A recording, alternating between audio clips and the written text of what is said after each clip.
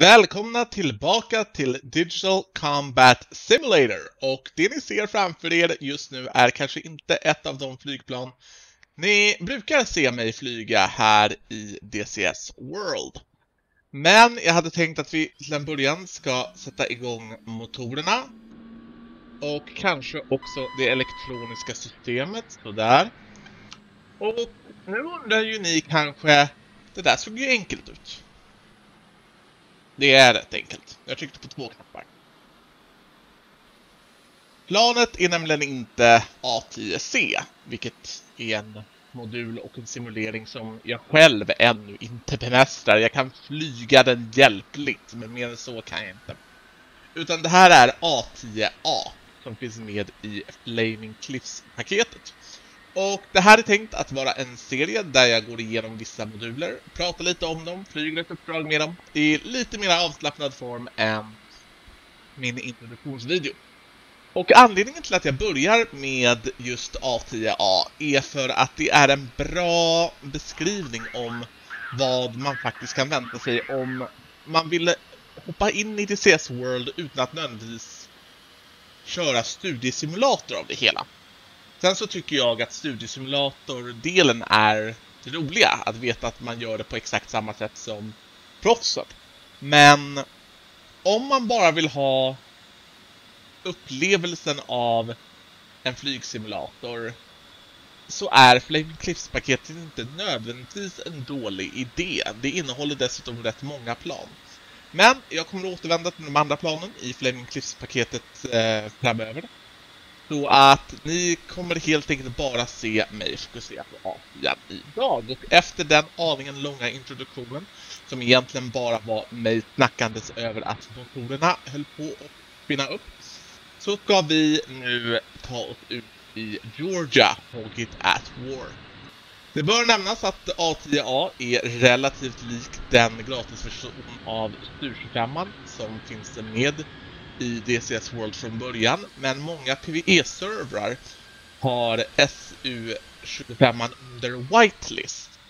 Och anledningen till det är för att gratisspelare, eller rätt sagt folk inte ska lägga nya konton och sen så använda SU25 bara för att trolla andra spelare. Det, det, tycker jag är lite synd.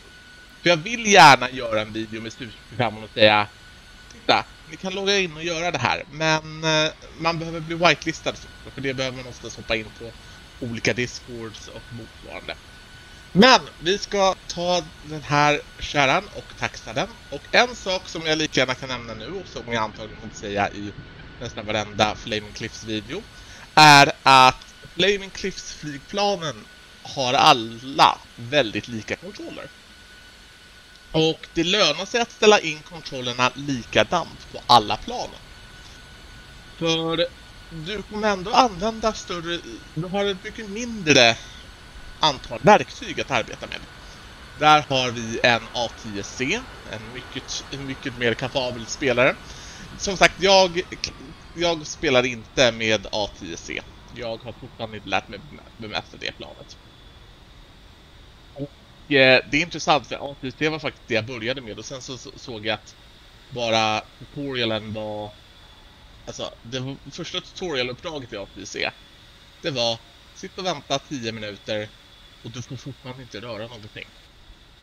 Okej, okay, där har vi en Frogfoot, där har vi en Mirage, där har vi en Harrier, där har vi APN som precis stack. Banan verkar vara fri, men på en sån här server så behöver man alltid kolla det. Vi ska se till att vi har vårt overlay redo för det. Så ska vi också befinna oss på rätt kanal. För det.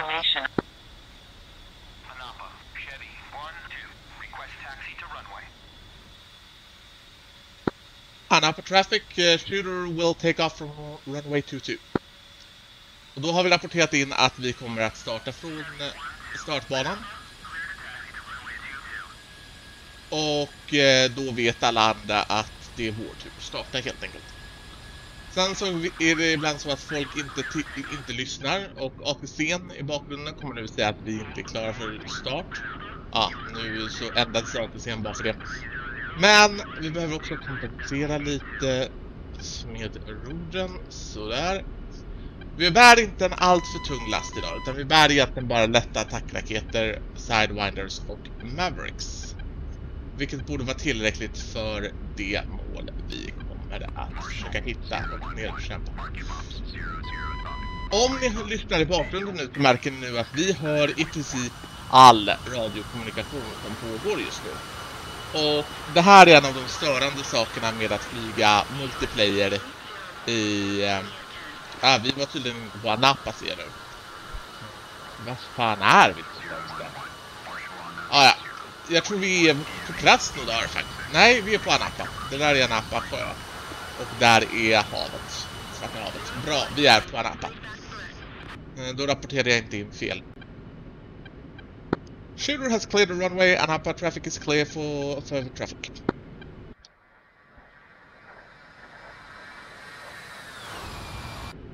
Ja, så vad jag skulle säga härnäst var att FC3-planen plockar in nästan all trafik som kommer på frekvenserna.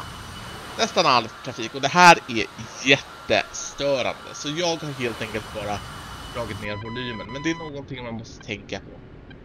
Uh, för det, det, är verkligen störande att behöva lyssna på andra personers ATC-trafik och motsvarande. Och det händer inte i de andra planen därför att där ställer där avlyssnar inte planet alla frekvenser samtidigt vilket Eh, vilket eh, det här planet gör. Så det är därför som vi kan höra vår AWACS utan att ens vara på AWACS-frekvensen. Vi befinner oss inte på AWACS-frekvensen. Det vet jag därför att jag använder ett externt program som heter SRS för att hantera radiokanalerna i den här kärran. Så att jag kan prata med de andra spelarna. Men eh, i alla händelser så ska vi försöka hitta en måltavla. Och det kan bli en rätt långsam flygning tills dess. A10 är inte ett snabbt flygplan. Utan det, får helt det är helt enkelt ett flygplan som tar sin maka lilla tid att komma vart den ska med den.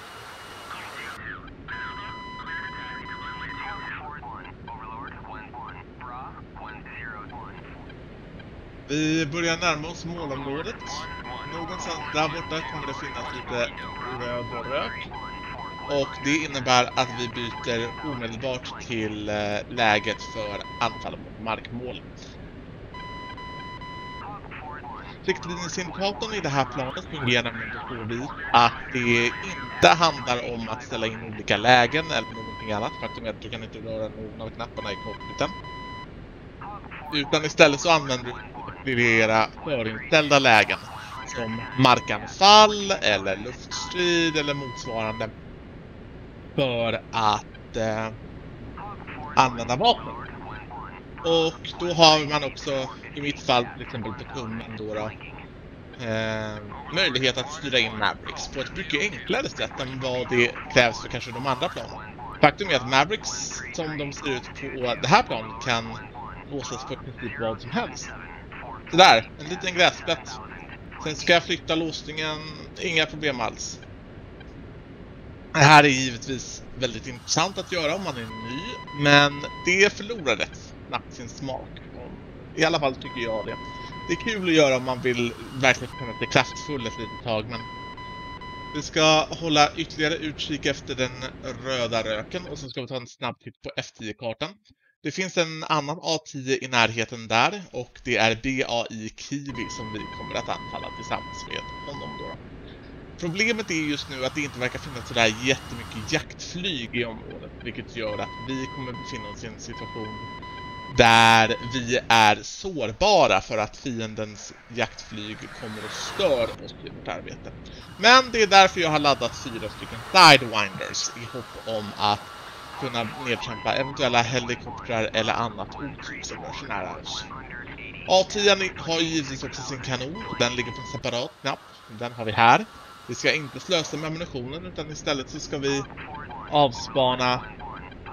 Ja, vi blir... Jag tänker faktiskt dyka lite här nu. Jag får en känning av att... Känning och känning, det innebär att vi blir vi blir eh, eftersökta av en eh, MiG-31 Foxhound. Och eh, jag kan säga så här att en A10 har vi i en eh, inte en chans mot en MiG-31 såvida inte den väljer att gå mycket nära. Det finns ingen anledning till att Foxhounds skulle välja att gå mycket nära för de har robotar som går att använda på mycket kort avstånd. Ni förstår problemet. Så därför väljer jag att gå lite lägre. Eh, ångrar just nu att jag inte tog en störningskapsel istället för några av Sidewinder-robotarna. Men så är livet. Å andra sidan, det är också möjligt att vår radarvarnare helt enkelt varnar för en MiG-31 Foxhound som egentligen inte är på väg mot oss. Vi borde ha sett något spår av kondens eller motsvarande om han hade varit det. Ah, ja, vi slår över till Mavericks så länge. Och eh, påbörjar eftersökningen av mål. Den andra A10 har givetvis redan börjat processen något. Där har vi mål. Rifle. Rifle står då för avfyrningen av en eh, av en eh, styrd robot som inte är signalsökande. Signalsökande robotar går under Magnum. Nu får vi se om det här blev en vettig träff eller inte. Vi ska dock svänga undan. Vi befinner oss så lågt så att de kan faktiskt skjuta på oss om de skulle få för sig att göra det. God verkan i stridsvagnen. Bara några stridsvagnar kvar. Där har vi den andra A10. Han ser bokstavligen ner på oss just nu och det gör han rätt i.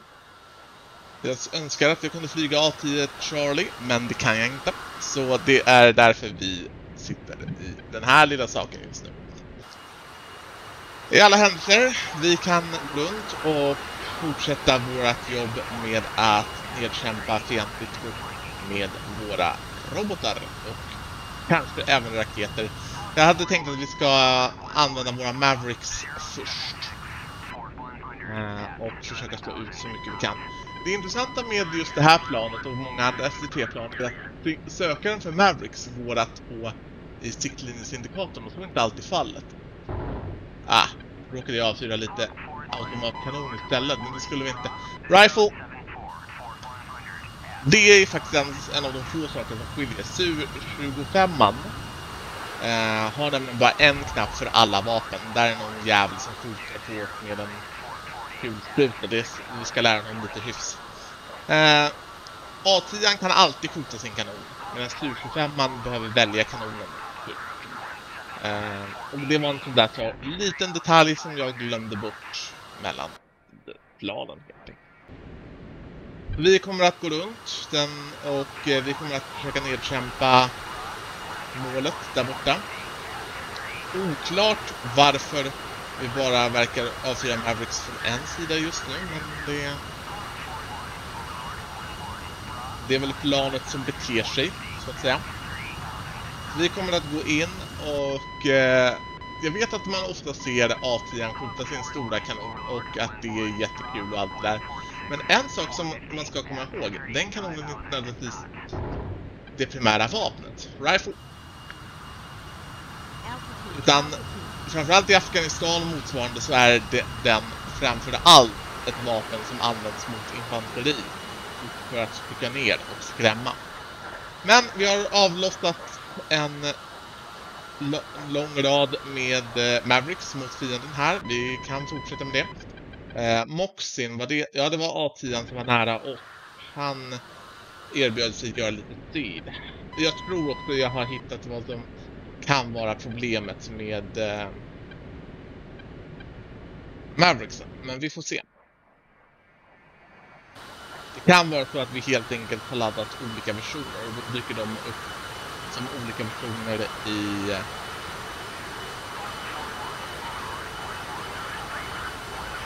Oh god. Eh, Pop-up group 131 för 14 är inte bra alls. Det betyder att vi kan ha fientlig jakt rätt nära oss.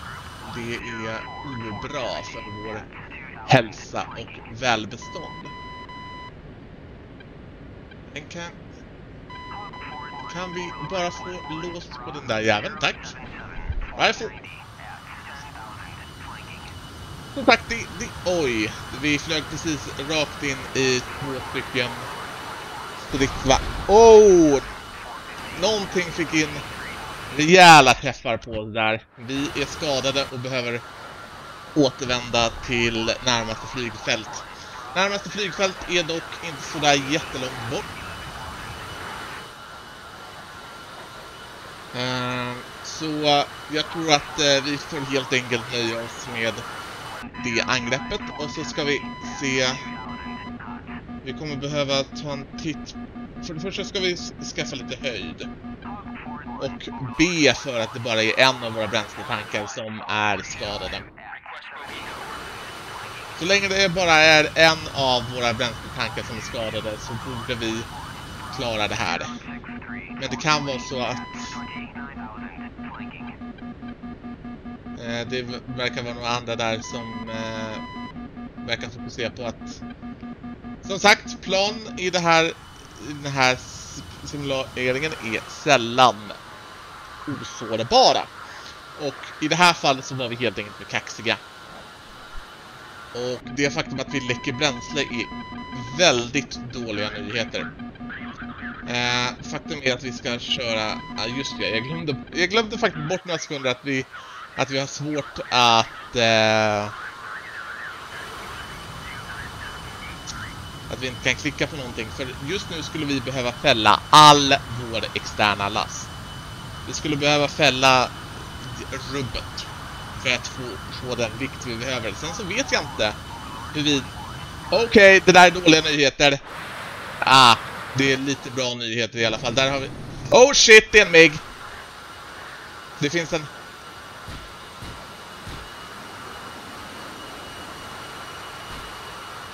Det är en MiG-21 det där. Jag får hoppas att min, att min polare klarade sig. Vi måste röra oss mot Krimsk. Uh, eh, omedelbart. Vi kan se om jag kan försöka svänga runt och... Ah, typiskt. Åh oh, herre jävlar, det är två av dem. Jag ser ett av flygfälten rakt fram. Det flygfältet borde ha luftvärn. Men vi ska försöka ställa om våra system så att vi har våra sidewinders redo ifall vi behöver. Den där miggen är på väg mot oss. Eh, all den där höjden som vi precis tog för att vi behövde den ifall vi skulle få på bränsle kommer vi behöva offra nu för att gå lågt och förhoppningsvis så kommer vi att kunna undvika den där förbannade 21 Uh, this is Shooter, Wounded, Wolfhog, Nick Grimsk. I got a MiG on my tail. Any cap that can deal with it would be much appreciated. Är en Mirage där.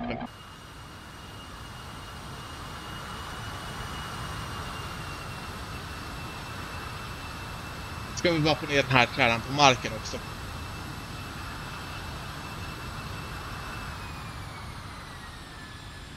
Ställer ut ställ. Planet är i navigeringsläge. Vi har fortfarande tillräckligt mycket bränsle och eh, motorkraft för att antagligen göra en landning, vilket är fördelaktigt för oss. Det blev ett lite mer intensivt uppdrag än vad jag hade tänkt mig, men det, det är ofta så här på PvE-servrar. Det är, det är, jag är tacksam för det. Det blir oftast spännande att... Oh crap! Robot i luften, robot i luften, robot i luften.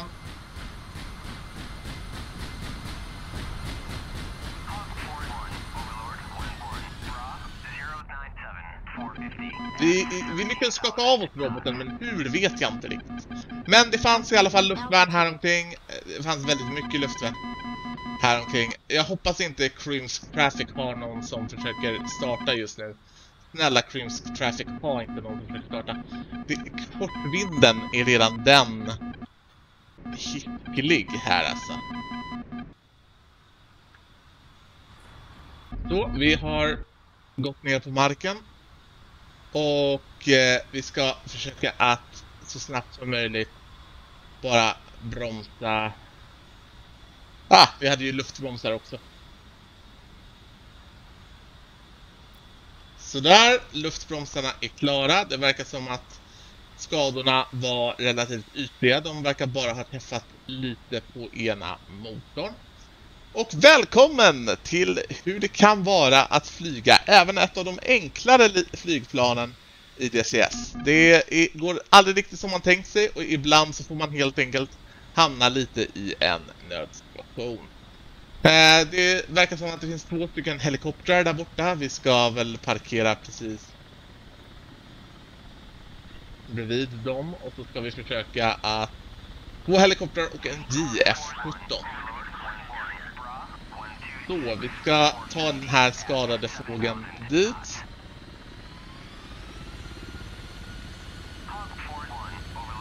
Och fälla in luftbromsarna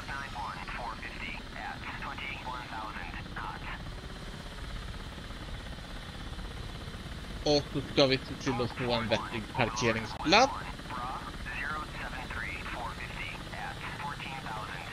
Och klart. Kan vi lika gärna börja stänga ner allting och försöka få lite mekaniker på bränsleläckaget och allt det där. Och eh, stänga av elektroniken så att vi slipper höra radarvarnaren och radion. Så där det verkar som att eh, fienden fortfarande verkar vara väldigt angelägen. Och stackars Mirage. Och där har vi MIG-planet som fortfarande är i luften på luftvärnets försök att... I alla fall, för att avsluta den här videon på en någorlunda positiv notering. Vi klarade oss tillbaka till basen. Det här uppdraget var skitkul. Och på en rea så går faktiskt A10A på någonstans runt 7 dollar. För att få en sån här upplevelse, ja det kan mycket väl vara, vara värt det. Om man bara har en enkel flygsticka och inte riktigt vill hantera allt vad en study sim innebär. Så jag, jag får ändå säga att även om jag som spelat DCS flera år inte tycker att det här planet är det främsta jag skulle välja så måste jag ändå säga att det har sin plats i DCS och det gäller för alla de Flaming Cliffs-planen också. Och det kommer vi definitivt att återse nästa gång vi flyger en Flaming Cliffs-kära här på Hogget at War.